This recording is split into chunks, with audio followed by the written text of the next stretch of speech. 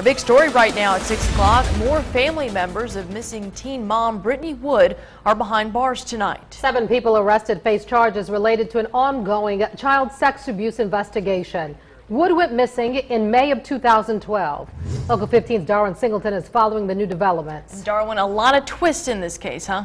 Especially, Andrea, when you consider many of these people have been arrested before on similar charges in the same investigation. It's a shocking new development in a case that child advocacy officials say sinks to a new low.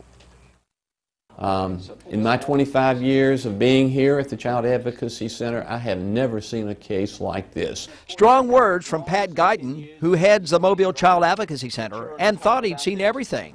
But last night's roundup of friends and members of the Brittney Wood family takes this case, he says, to a new level. We have never had a case like this where there are so many alleged perpetrators within the same family molesting, allegedly, so many children within the ex extended family grouping. This is your chance to say something, to speak for yourself. Last night's string of arrests stemmed from new evidence from a new juvenile witness. The charges range from sodomy to incest and beyond. And each arrestee shares another thing in common. They were either friends or a relative of the missing teenager, Brittney Wood. Which once again begs that question where is Brittney Wood? But I believe that uh, the circumstances surrounding her death, I believe there are people uh, walking around today who know what happened to Brittney Woods and have a good idea of what happened to Brittney Woods. They may not have been involved, but they have a good idea of what happened to her.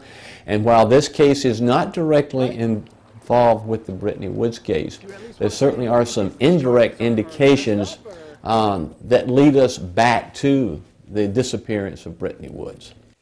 It is a complicated mystery, and these arrests only add to that complications, even for us in the newsroom and you watching at home, which is why we put together a graphic that kind of leads you through the arrests last night, the family members, a kind of Wood family tree that we put together. You can go online and check it out in our coverage of this story at local15tv.com.